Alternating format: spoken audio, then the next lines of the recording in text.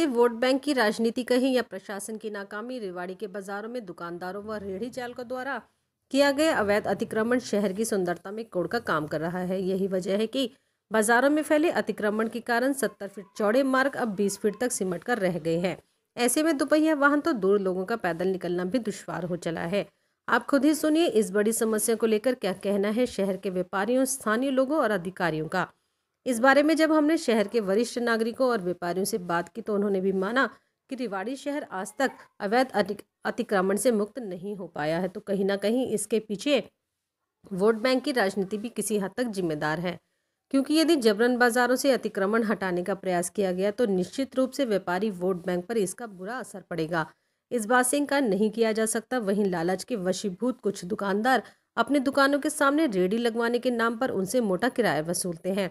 जिसके चलते बाज़ार रेहड़ी चालकों से बुरी तरह अटे पड़े हैं और आम लोग इससे खासे परेशान है। प्रशासन को चाहिए कि जन, जनहित में बाजारों को अतिक्रमण मुक्त बनाने के लिए किसी भी दबाव को नज़रअंदाज करे, तभी जनता को इससे निजात मिल सकती है, वरना ऐसी कोई ताकत नहीं जो शहर को अतिक्रमण मुक्त बना सके।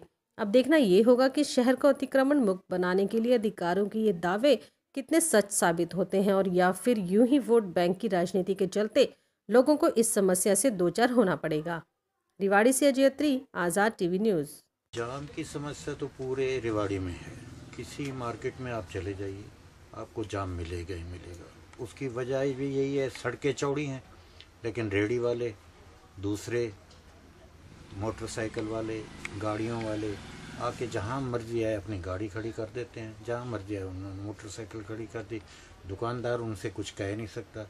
अगर दुकानदार कुछ कहता है तो वो लड़ने बढ़ने के लिए तैयार हो जाते हैं। कि गवर्नमेंट की जगह है को आपकी म्यूनसिपल कमेटी की जगह आपकी तो है नहीं। दूसरी बात यह है कि रेडी वाले अपने मन मानी करते जान साहब आरोप है कि कुछ दुकानदार भी इनसे बंदा नहीं लेते हैं। ये सच्चाई है।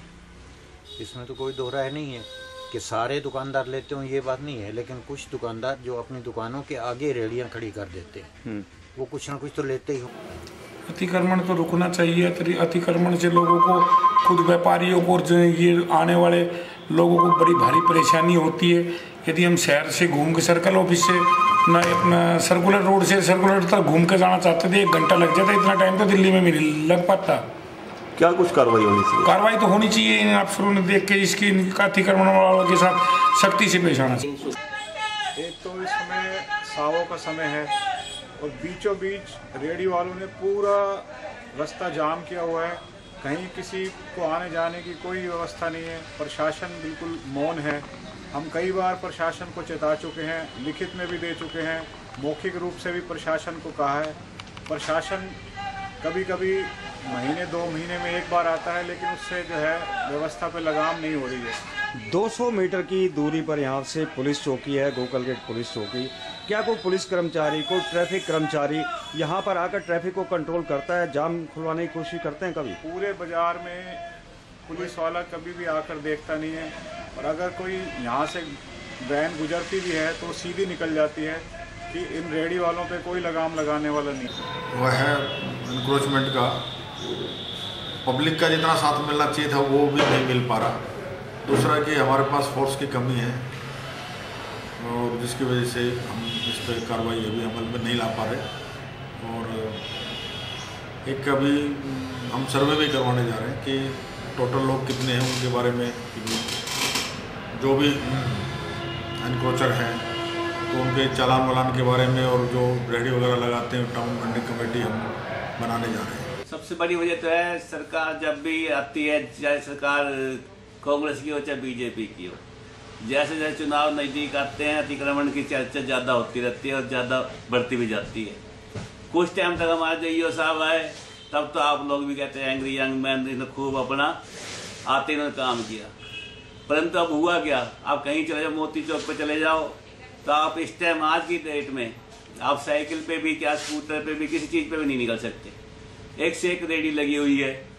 सेकंड गोकल गेट के पास हमारे नगर परिषद की लैट्रिन बनी हुई लेडीज़ के लिए बनवाई थी लैट्रिन और वाशरूम बनवाया था। ठीक है? उसके आगे उन्होंने अपना, अपने दुकानदार ने साथ अपना सामान वहीं लगा रखा है। कोई ना कोई अधिकार तो मिला हुआ इन लोगों के साथ। कभी जाते नहीं, कभी आते नहीं। जहाँ भी चले जाओ, मोती चौक चले जाओ, जीवली बाज़ार चले जाओ, वहाँ पे उन लोगों ने अपना मंदिर की आड़ लेके आधी सड़क से ऊपर दुकानदारों ने कवर कर रखा है सारा।